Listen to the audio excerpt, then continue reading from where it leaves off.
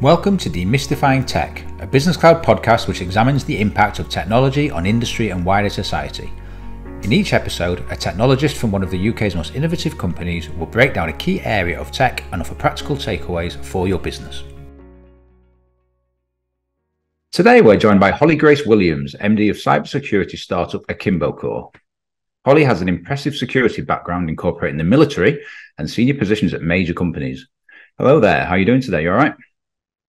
Yeah, very good. Thank you. Thanks for having me on the podcast. I'm excited to rant about cybersecurity. You're welcome, and, and nice to catch up with you again. We're going to be looking at your specialist subjects, which are penetration testing, chaos engineering, and also helping some businesses figure out how to better protect themselves. So let's have a little look at the the landscape of cybersecurity. Um, you know, the history of cybersecurity goes way back to Alan Turing. You know, we're talking like how many years ago was that now? Like 80 plus years. But when did this discipline, as we know it, sort of begin? I think you'll get a lot of people who are quite pedantic with where they want the line to be. And even if you say, you know, modern computing started with Turing, somebody will argue against you and say, well, what about Babbage? But I think for me, with cybersecurity specifically, so drawing a distinction from broader information security and just looking at cybersecurity, I think one of the biggest turning points where you might draw a line and say this is modern cybersecurity would be uh, the advent and the uptake of of smartphones. Really, where I'm trying to draw that line there by by making that point of like the release of the iPhone 2007, Android release 2008, like that those couple of years is where effectively like everybody was carrying a device that had their data on it. Everybody was nearly constantly exposed to data systems. And of course that was the the gentle shift towards um, just everybody having some reliance on those systems. And then also we can take a look at things like um, businesses and uh, at what point did effectively every business become reliant upon computer systems and therefore have worries about confidentiality and integrity of, of data. Um, I think you would struggle these days not to find a company that you couldn't cause significant disruption to through a cyber attack, even if they're not a technical company, a technology focused company, um, just because pretty much every sector now uh, relies on computing to some degree, even if it's as simple as, you know, payroll paying their people, those kinds of things, managing their employee records. So yeah, for me with modern cybersecurity, I would probably draw the line somewhere around the the introduction of the iPhone. For that was a big a big sea change. Well, every business is a tech business, as they say. You know, maybe maybe not the corner shop, but apart from that, pretty much everyone's got an online presence, or, or by and large. Also, there's that bring your own device side, isn't it, where people are kind of logging onto their emails using their personal phones in a lot of cases, mm. and you know, you know, two two FA or two factor authentication uh, is is something that came in, especially during COVID. A lot of companies suddenly went, "Whoa, what is this? We need to get this. We need to protect ourselves." But yeah, would you say bring your own device was kind of like a, a like a major kind of loophole for the attackers to, to target?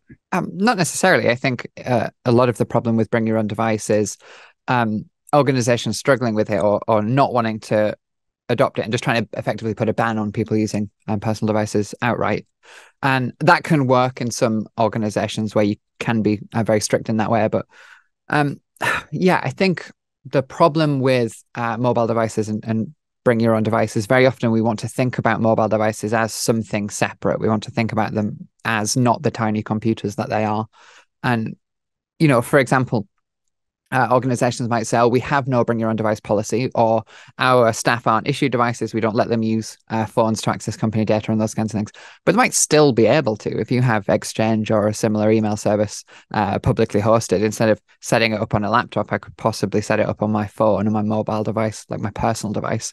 Uh, and if you're not doing something to to um, minimize the risk of that, then yeah, they have mobile devices with um, your company data on them, and it can be as simple as the the risk of things like lost and stolen devices. It can be simple as silly things like people leaving their phones on the desk in a cafe when they go to the bathroom and things like that. Um, so there are risks there. I, I don't necessarily think BYOD significantly changed with COVID or anything like that. Um, not from a technology point of view or, or a, an adoption point of view, anything like that. I think really, if you were to feel a change there, that's organizations suddenly realizing that there are there are these uh, the perimeter is not as solid as, as they thought it was. People are working remotely and things like that. Um just a, a quick distinction on that as well um, very often people use the term working remotely and working from home as interchangeable, uh, and they're not necessarily. So for me, um, working from home would be a known fixed location. Maybe there's some risks there around things like their home Wi-Fi network and, things, but it's quite a, a well-defined space. Whereas working remotely might be a bit more like what I do, where you know you're traveling a lot and you could be working from anywhere. It could be a a hotel or uh, a customer site or anything like that. And some of there are some um, differences with that kind of thing. Uh, yeah, I was kind of tempted to uh, to log into the Wi-Fi on the bus yesterday, and I thought, no, don't do that. It's you know, especially when you're talking like company accounts and things like that. So yeah, hot, hotspot into my uh, my work phone's a, a, sort of a safer option, I imagine. That's um that's a great point actually to bring up. This is the kind of thing I mean about um BYOD didn't necessarily change a lot for companies, but it might have been an awareness point for them where they realized there was risks that they weren't addressing. Um, connecting to public Wi-Fi shouldn't be a huge security risk. Many years ago, it was, especially when uh, many websites were operating without transport layer security and those kinds of things, HTTPS. Um, but every mobile app in the iOS uh, app store uses TLS because it's a requirement of being featured in the app store. Um, huge numbers of websites do. There seems to be this this kind of um, online rhetoric where you know connecting to public Wi-Fi and then connecting to your bank website or something like that is is incredibly insecure, and it's like well, transport layer security exists and endpoint security exists, and it and it doesn't have to be incredibly insecure. Is is what I'm trying to say. Social media is one that you mentioned to me in the past as well. So that's you know everyone's on online now on you know sharing profiles, sharing personal information. What what are the kind of risks there? Oh, this is a brilliant one. So the, there is two sides to this, and it's important to, to be balanced on the subject of social media. But you will see a lot of people, even security professionals, saying things like you shouldn't share personal details on social media, things like your mother's maiden name and your cat's middle name and those kinds of things, because those pieces of information may be used by security questions by vendors. In, and what, in, what, in what context would I ever go on Twitter or X, as we now call it, and start talking about mother's maiden name? Uh, you could be, for example, talking about uh, the history of your family, genealogy. You could be uh, saying, "Oh, I'm ah. setting up a family tree," or it could be as simple as, "Oh, it's my my mother's uh, anniversary," or something like that. You know, people talk you about. You just wouldn't think events. about, right? You just, just you know, yeah. here I am. Here's because, here's here's my, how my day is going, kind of. Yeah, thing. because you think you're talking to like a close circle of your friends, but of course, this stuff's uh, more public. But the the big thing about that is people talk about this risk of um, sharing that personal information because it may be used for a security validation question. But really, we should be focusing on who are these organizations that are using those insecure pieces, knowledge based challenges as security verification steps? That's horrendously insecure, and we've known for years it is. There should be better verification steps than you happen to know what my mother's maiden name is, which, if you would like to know, look on her Facebook. Very true. And actually, we kind of think of using the same password across across platforms and devices as being insecure, but we don't think anything of that. You know, I'm not going to say what mother's maiden name here is, but but it's it's an easy thing for me to remember, and I think, oh, I can't remember my password for the bank, therefore, yeah, this is my mum's maiden name. Here's my address or whatever, and but that that information is so readily available, isn't it? Yeah, and I think again the big onus on the companies there. So um, companies should move away from knowledge-based challenges, and companies should move towards enabling users to be more secure. I'm not saying necessarily every company out there should enforce multi-factor authentication, but it should be an available option. All of the social networks have that. Uh, you know, it's not enabled by default, but it is an option if you would like to enable it. If your threat model includes risks via social media, uh, and in the same sense that um, these organizations should enable enable you to use uh, technologies such as password managers, making it easier for you as a user to address the risk of password reuse. If your uh, website, and some major websites do, have things like very short maximum password lengths, or have things like you're not allowed to paste into a password field for some reason websites prevent that. They're making it harder to use uh, password management software. They're making it harder to make good choices around using passphrases rather than passwords and that kind of thing. And again i'd put a huge amount of that on the vendors themselves the companies who are making these websites. Instead of just telling users you shouldn't reuse passwords make the process for them having secure passwords and making good password choices easier. We um, spoke to a company recently called Zally, which is mm-hmm. based in in in Manchester, and it's trying to get rid of passwords. And we said to him, "So how you know is it is it three FA? Is it four FA?" He said, "More, more like hundred FA." you know, he's you know we really do need to kind of um, find these new technologies which can can go beyond the expectations of today, right? Yeah, and it doesn't have to be very complex. There's there's other ways of implementing it. For example, there's a couple of organizations that I work with where you log into their end user devices. So as a staff member, you log into your laptop with your ID card. So instead of having a password, there's a digital certificate on your ID card. It's a different risk. I'm not saying that's that's an unhackable solution, but nobody on their network has password one on their pass as their password because they've moved away from passwords uh, in that way without it being some huge zero trust implementation or something like that. They've just made a different choice, and uh, in that regard, it, it's more secure in, in context ransomware was something that sort of hit the headlines a few years ago. Uh, NHS got attacked, major organisations, and but it's actually older than you, yeah. which is a, which is a fun fact. this is a fact I love to drop in every uh, public talk that I give, where where I'm talking about ransomware. People people constantly talk about ransomware as if it's a, a, a new threat, and it and it really really isn't. Again, people will be pedantic with with where they draw the line on what was the first ransomware and things like that. But something like the AIDS Trojan, which is released on physical floppy disk in 1989 is a good candidate for for the the first ransomware based on its behavior locked you out of a device and demanded a monetary ransom to be paid by a banker's draft to a PO box, of course, because it predates cryptocurrency as we know it. Um, so yeah, ransomware uh, definitely isn't a new thing, um, and and also I think because cybersecurity professionals have been talking about ransomware for a long time, um, people get a little bit worn down by it. They get a little bit kind of um, frustrated where everybody's focusing on ransomware. But the fact of the matter is, it's still a threat that faces a, a, huge number of organizations. You know, we, we see several companies this this week have been hit um, by ransomware. So yeah, it's not a not a thing that is going away uh, to any degree. I think a, a, good example for for this week, if you wanted to to put a line in the sand and say, "Hey, look, another company hit by ransomware," um, Johnson Controls International employ 100,000 people. They've been hit by ransomware. Um, and I'm sure you could, a quick internet search would show you five more this week. So yeah, it's been around for a very long time. And it's still a problem that we're, we're struggling with. Some people might ask, like, why haven't we solved this problem yet? Um, there's two sides to that. It is a difficult problem to solve. No doubt I'll get into some of the details as to why it's not as simple as just restore from backup when it comes to ransomware. Um, but secondarily, um, the the threat actors, the the cyber criminals, the the bad people, however you would like to name them, uh, are hugely incentivized to perform ransomware because in many ways it is the path of least resistance to monetizing that attack. If you have a threat group whose goal is financial gain, a lot of companies out there that you hit them hard enough with ransomware, they'll pay the ransom. It's an easy way to monetize your attack you know threat actors aren't looking for the coolest breach or the the um, most interesting uh, piece of malicious software they're looking in many cases just to for financial motivation, just to monetize those attacks as quickly as possible. Yeah, there's other threat groups who have other things like uh, theft of confidential information, intellectual property, and that kind of thing. There's a lot of them out there that just want to make money as quickly as they can, and ransomware works. Before we sort of profile Akimbo Core and, you, and your good self, mm-hmm. is would it work just to kind of make paying a ransom illegal? Because if, if you kind of nip it in the bud there and just say you are not actually allowed from a legal perspective to pay it, would that not make the problem go away? Uh, it, it, depends on your definition of the problem. Uh, if you made paying ransoms illegal, would it make ransomware go away? Uh, yes, if you prevent threat actors from monetizing through ransomware, uh, ransomware wouldn't happen anymore because they would do something else. They would they would monetize in some other way. Um, it, you know, you're not solving the problem if threat groups exist there. Um, but it is an interesting uh, thing. And I think some people maybe frustratingly say, well, why don't we just outlaw paying the ransom? But of course, the flip side to that is those companies who have just been ransomed and will be ransomed in the near future, if you make it illegal for them to pay the ransom, they've got to go through all of the pain of restoring their systems through some of the mechanism. And some of those businesses will go, uh, out of business, frankly, because of that.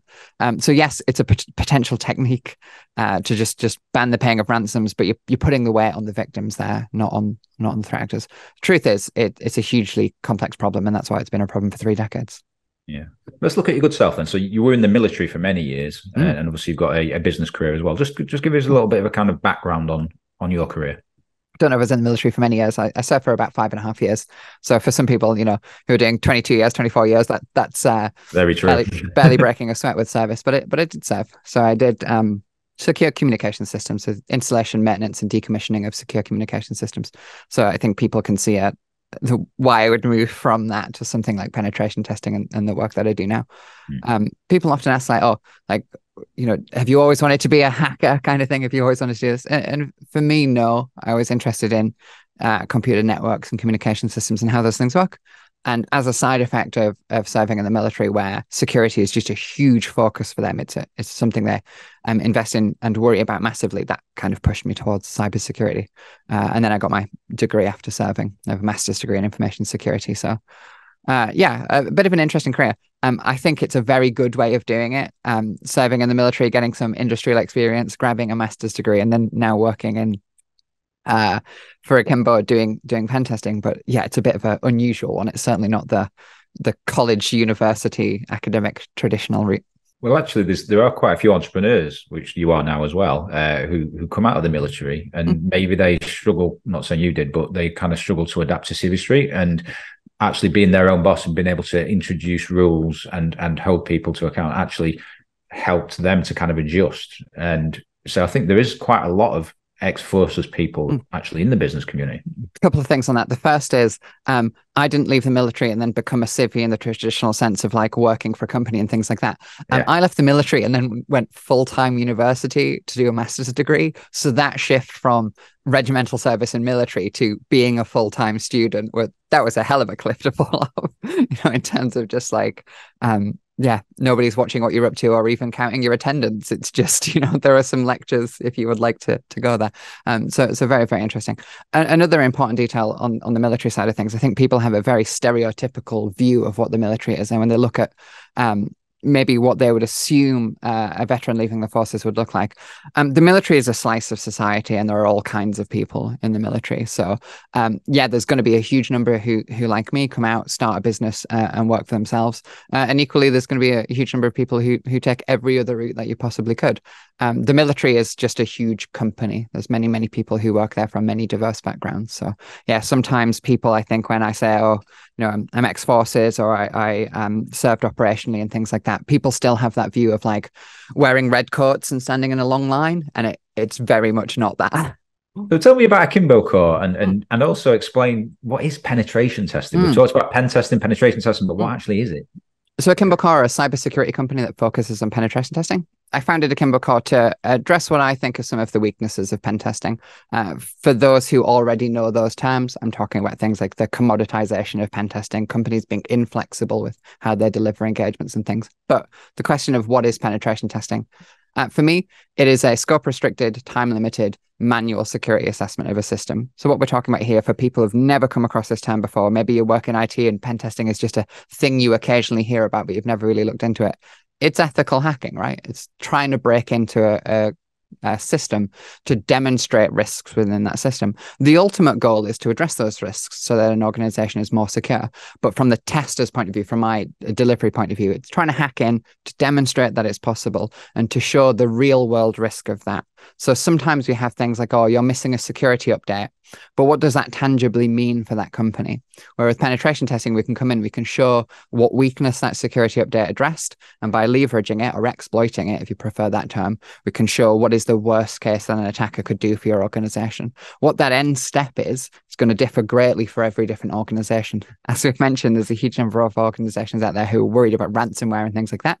So maybe we could demonstrate that that is a leverage point into a ransomware attack there's a whole other ways, uh, many, many other ways that we could uh, impact organizations as well, from brand damage, intellectual property theft, and those kinds of things.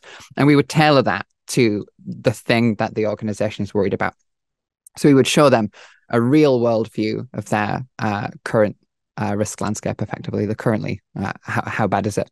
The two details that are important from that um, we're not just academically looking at missing patches and things like that. We're exploiting vulnerabilities. And secondarily, when I say currently, it is a point in time assessment. I could come in today, do a security assessment of your organization, and then um, tomorrow things might change. So it is important to think of security testing and pen testing specifically as something that is performed ongoing.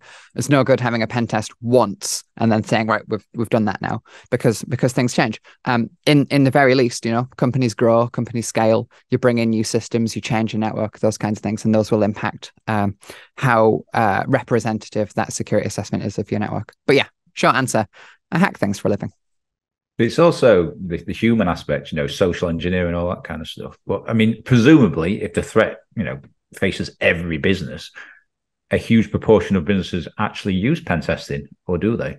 Uh, no, they don't. Sometimes the statistics are surprising to me. Of course, I have a biased data point of uh, being a pen tester. Every company that I work for has pen testing done, but but it isn't actually the case. There's still a lot of organizations out there that, that aren't doing pen testing. There's still a lot of organizations out there that aren't doing what I would consider very fundamental security tests, running vulnerability scans, running some kind of software to verify that your processes are working. So just because you have a system that is going out and pushing updates to all of your servers is it still working? Or has it crashed? Or has its license expired and it's no longer doing that that job kind of thing?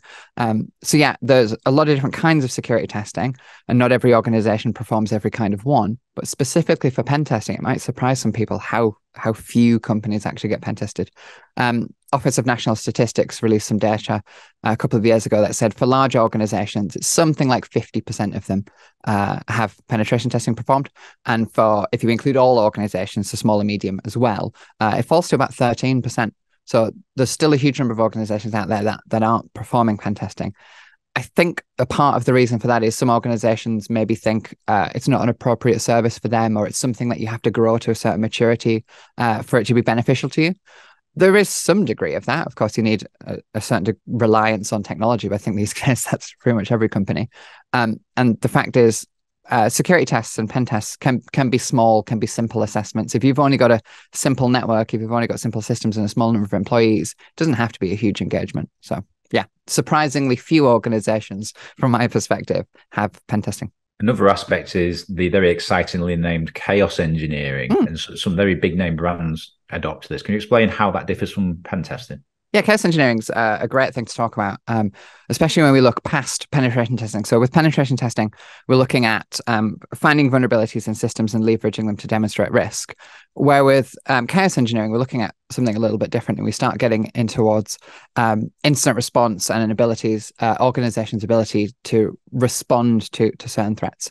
So, penetration testing is a service that Akimbo delivers, but chaos engineering is a great thing we like to point at. Although we don't deliver it as a service of um, demonstrating something. So, for example, when I talk to an organization and I say something like, okay, if this asset, if this server got hit by ransomware, how quickly would you be able to recover that data? And very often you'll get a oddly round answer. So they might say something like, oh, uh, eight hours for us to recover that asset. And usually where that's coming from is some kind of SLA or some kind of business continuity document that says that the organization has agreed it will take them eight hours to restore that asset. And for me, that's always a concern. Uh, where they don't know exactly how long it does actually take them to restore that service. Because usually what it means is like we have a plan somewhere on a network share and a filing cabinet that says we can do it in about eight hours, but they're not practicing. So from a cybersecurity point of view, when it comes to, to practicing, that can be um, literally doing incident response tabletop scenarios. So, so walking through if we got hand, hit by ransomware, how would we handle that as a paper-based exercise? And then you can build that up to something like a full-on red team or bringing in uh, threat hunting exercise and those kinds of things. But chaos engineering specifically, what this is, is looking at your systems not from a security point of view, but from a resilience point of view. So, um, if this server failed for some reason, and that could be something like a software corruption or it could be a hardware failure, its disk fails, how would that impact our systems and how would our systems be able to recover from that? an awful lot of organizations these days are, are running on cloud services and things like that. And they have uh, features such as um, auto scaling and the ability for their systems to automatically react to that kind of thing. So that if a server fails, a new one will be spun up. And it's effectively moving away from this idea that you do once a year, uh, you know, a business continuity test where you say, okay, things have gone wrong, we'll try and uh, restore from backup. And you go to a more frequent uh, broader range of tests where you're testing your resiliency. So uh, we do a lot of chaos engineering here for testing our systems, and we're doing something about every two weeks from a simple that server's hard disks failed, that one's hard disks full, uh, right up to um, full server level failures, full feature level failures. And what that brings us is uh, muscle memory. So it's not once a year that we're trying to deal with what would we do in this in this instance. We're, we're we're playing through that very very frequently. And the reason I like talking about chaos engineering is I think more organizations should be thinking that way in regards to cybersecurity. Don't be running like incident response scenario testing once a year. Don't be running these engagements where you test your ability to respond once a year. Be doing them more frequently so that when somebody says, How long would it take you to respond to this kind of threat or this kind of incident? You don't say, Well, our SLA says eight hours. You say, two weeks ago when we last tried that, it took us this long. To restore that web server takes us seven minutes because we do it. We do it regularly. We have that muscle memory. Um, beneficial for two reasons. Muscle memory, you'll you'll be able to respond more effectively because you you uh, more practiced. Um, but but secondarily, it allows you to test your systems against uh, realistic incidents. You know, stuff's going to fail. You're going to get hit by attacks, and, and being able to test your systems against uh, realistic incidents, you'll you'll much more uh, you'll have a much more effective incident response capability not just a dusty plan on a network share somewhere that nobody reads. And the kind of companies that are using that are, I think you said Netflix and, and hmm. LinkedIn. Mm. So companies that are, yeah, yeah absolutely, you know, billions of users, presumably, or, or, certainly hundreds of millions, and yeah, yeah. therefore, it's it's not just a case of getting someone into the building once a month to to test the systems. It's, it's just a constant kind of continuous assessment, isn't it? Yeah, and and of course, uh, organizations at scale like Netflix and LinkedIn, those are two real good ones to look at if somebody's new to chaos engineering and wants to read more and wants to kind of bring in some of those capabilities. Um, one of the things that they're looking at is uh, just damage limitation, reducing blast radius, those kinds of things. So what I'm talking about here is um, if this server fails, how do they still deliver the service to their customers almost transparently, so the customer is unaware of that failure, and by practicing more kinds of failures more regularly, they build more resilience. So resilience isn't necessarily a term we think of when we have our cybersecurity hats on because we're focused on confidentiality, integrity, and availability. But resilience is a part of availability. It is something we should think about. And also, like I said, that mentality of delivering chaos engineering, I think we can bring more of that into pen testing in terms of things like incident response testing. Let's distill that into some practical tips for for businesses of any size. Tech takeaways. Um, can you just give us a few quick fire tips for businesses to to sort of remember? Yeah, I think one of the biggest things is is just test your systems. That that's it. That could be like as we talked penetration testing in terms of like actually verify that that those um the security protections you're putting in place are working, but also chaos engineering or very very simple things I mentioned earlier. If you have an automated process for things like delivering security updates, go and check that it is working, that that server hasn't crashed, that its license hasn't expired, those kinds of things and do that not at this for some reason within cybersecurity we have this idea that these tests should be run annually. No no you should be doing these very very very frequently ensuring that those um, fundamental security aspects are working. That could be something that you do in house where you specifically go and you say okay we have this process. Is it working correctly? Or it could be something that you're bringing third parties in for uh, such as penetration testing and chaos engineering specialists. Um, but a lot of it you can do yourself the big thing though is um, test your systems. Are they actually working? And what you're looking for there is is not just that functionality of ticking a box of we did a business response test or we did a pen test, we've ticked the box, but building that muscle memory for for how are you responding to these so that you're more efficient when something unintentional goes wrong, when a system fails and you didn't plan for it, or when you get attacked and it's at a really inconvenient time, like 2 a.m. on a Sunday. and yeah, do not ignore software updates. Do not snooze them repeatedly. Make sure that you're always always aware of, of making sure that when, when you get a software provider to keep those systems up to date. Yeah, I mean, uh, so software updates are a huge part of it. Not only like snoozing those updates and things, but um, I, I don't think organizations, generally speaking, where possible, should be relying on things like manual software updates. Uh, leverage automation where you can, and then verify that automation is working um, yeah, so yeah, you should install your software updates, but that that shouldn't be the intern trying to run physically around to each server and clicking Windows Update, Windows Update. You should you should have uh, more rigorous processes and be leveraging some automation where possible. Okay, let's round things off with a bit of personal chat. Tell me something about yourself that would surprise me. I, th- I think some people uh, know this, but a lot of people don't. Uh, one of the things I do outside the office, I work for Mountain Rescue. So if I've been slurring my words and sounding very tired today, don't worry. That's because I am because we were on a, a mountain rescue call out last night. So that's that's something that I do. Oh, were you indeed? Going helping. Did it? Uh, um, maybe this isn't the the right question to ask, but did it go well? yeah, it did. It rescue to everyone. Um, yeah, yeah. So with mountain rescue, there's there's different areas to it. There's there's missing person searches, and then of course the stuff that people expect, people getting injured in the out of doors. Uh, so sometimes it's simple stuff. In fact, quite often it's simple stuff. You know, lower leg injury, somebody's tripped or something like that. The one of the problems is as as people, we're, we're quite vulnerable, aren't we? We're quite squishy. You don't have to fall very hard to hurt yourself quite badly. And, and if you're out there, uh, you don't have to be very far out for an ambulance not to be able to get to you. And in those instances, it's quite likely that it would be a mountain rescue team that, that comes to help you, even if it's just to carry you to the roadhead to a, to a land ambulance, or if it's to call in additional resources like an air ambulance. So yeah, it's a, a, a huge part of what I do outside of the office is uh, upskilling for that for that mountain rescue thing and, and doing that as a voluntary thing. Good on you. And actually, normally I would close things off just with that little tidbit, but that's really, really interesting. Did how did you get into that? Mm. So uh, it's an interesting one because, like, it's like, oh, how how did I first think about that? I wanted to do that, and how did I first think about that? That would be um, something that would suit me as a character. That I might be a, a good person. Um, I don't actually know the answer to that. I can tell you, for example, when I was in the military, I, I did serve on uh, a kind of rapid reaction force. Uh, doing things more like uh, humanitarian work and dealing with um, instability and those kinds of things. So there's some parallels there with my with my prior experience, and of course in the military there's a a big part of like uh, those medic capabilities, so primary survey capabilities, and dealing with uh, the kinds of injuries that you might see in the outdoors, uh, as well as some more uh, significant trauma. So I think you know just some of my background generally led me to this. But the big thing is uh, for me just spending a lot of time outdoors, doing a lot of hiking, um, climbing a lot of mountains in the UK and, and wherever I can get to. And like I say, you don't have to be far out for um, small problems to become big problems, getting caught out by the weather. As we're approaching winter now, people getting caught out by uh, the short nights, you know, going out without a torch or the torch not being charged. And suddenly you, you're, you're out, you know, you might only be a couple of miles from home, but if you haven't got light, then it can be very hard to get back. So uh, helping the, the public in those ways don't go hiking in your flip flops. That's a good a good tip.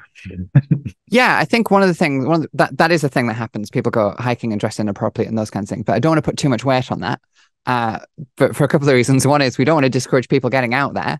Uh, you know, it is good to go to the outdoors. It's it's great for you. We should have that as a resource. But but secondarily, we shouldn't think too much about the people who get caught out in the outdoors are just those people who are unprepared.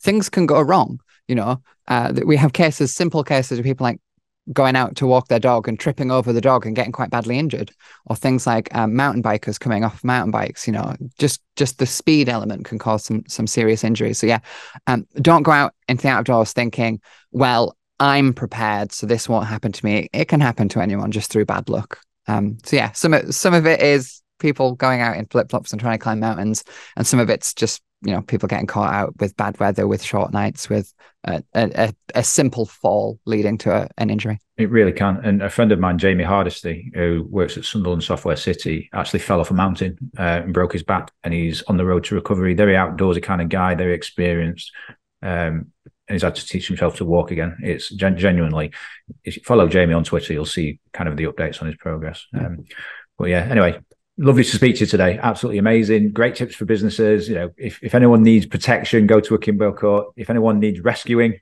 go to Holly. I think that's the, the key thing. If you've got any feedback on today's episode, leave us a comment on YouTube, LinkedIn, or X. You can also drop us an email at podcasts at businesscloud.co.uk.